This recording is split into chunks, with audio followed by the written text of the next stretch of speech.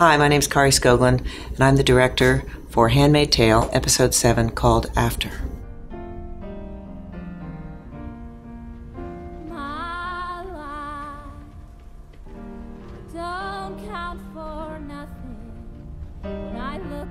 So, this opening shot was very important to me to have a very bird's eye view. So, we sent a drone up to scout uh, where uh, we were going to find this little stand of trees. We had set the entire scene um, on a, actually a golf course, and the golf course you can see is further down there.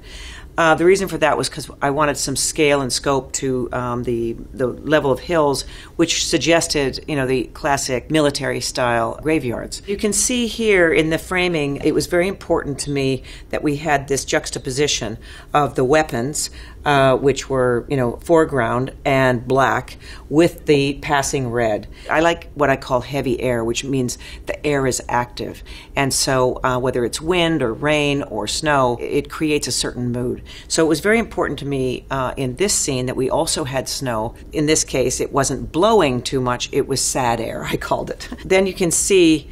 Um, to that was to introduce this much more mil- the military presence that was always pervasive in Gilead, uh, you know, and the military um, vehicles which you get just wind of. That for this whole episode, it was very important that we got got the feel that they were absolutely locked down, and that these women were now to be protected because they were so precious.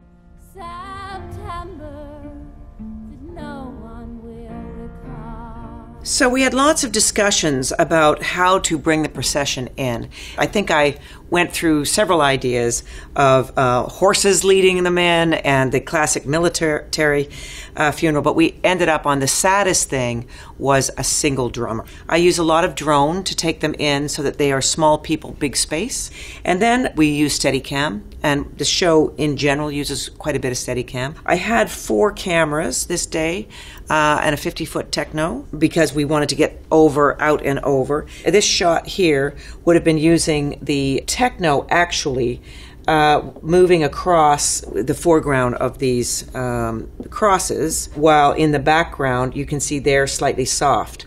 So the notion was also using focal planes to really decide where the eyeball wants to look and what what we want to get out of the imagery.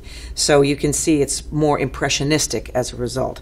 As you can also see, we were wanting a very specific uh, feeling of where the color red is and where the military is. I was trying to use as much negative space or, or call it open space to give the sense of scope and scale. Always little people and a big, vast universe. All right, so this drone shot was particularly important to really get a sense of the setup, the nature of the set. We got there on the day, and this center one originally had been black.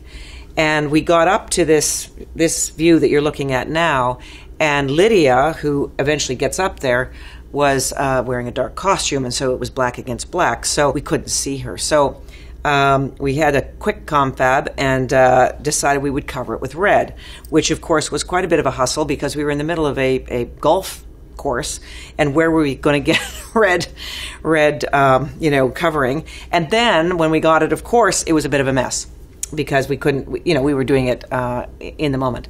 You'll notice that on each coffin is a twig of pine, and we put pine around here as well. Pine is a very symbolic tree, means something different in all cultures. In the native community, it can mean longevity, it can mean peace, and so I felt the symbolism of sort of breaking up the the starkness with these twigs gave it um, another layer of story to what this whole moment um, of the funeral was going to be about.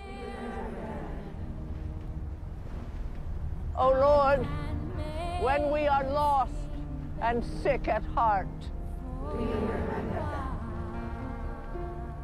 when we are weary and in need of strength, so long as we live, they too shall live.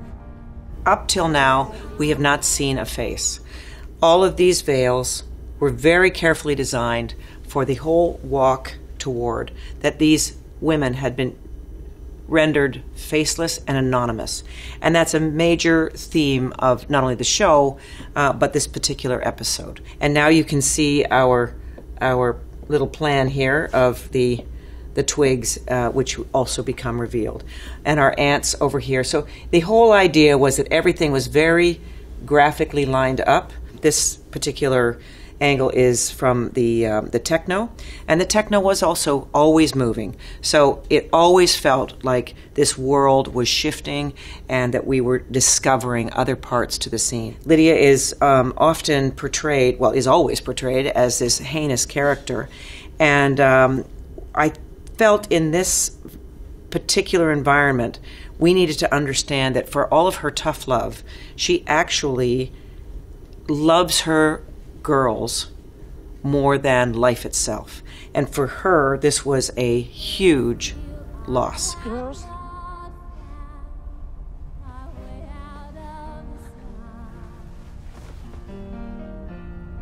You could just barely see through those veils.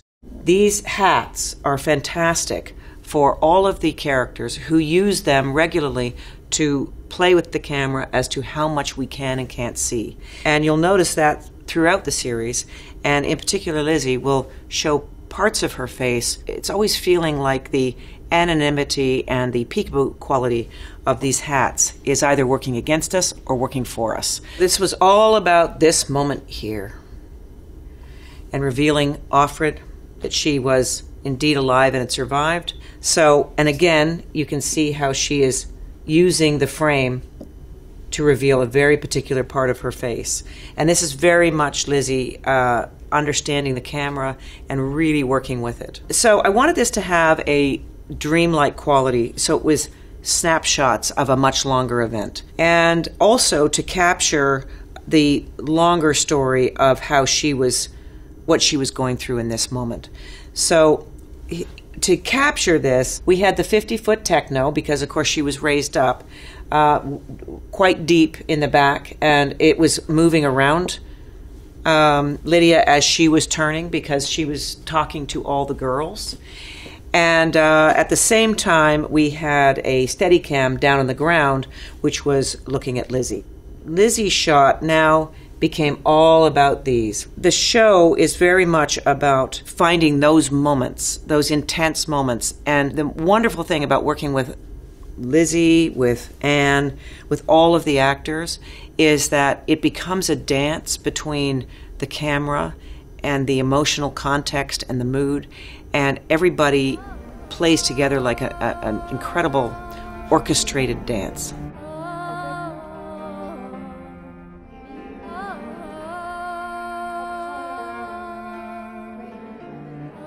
The whole setup of this scene was to capture that moment.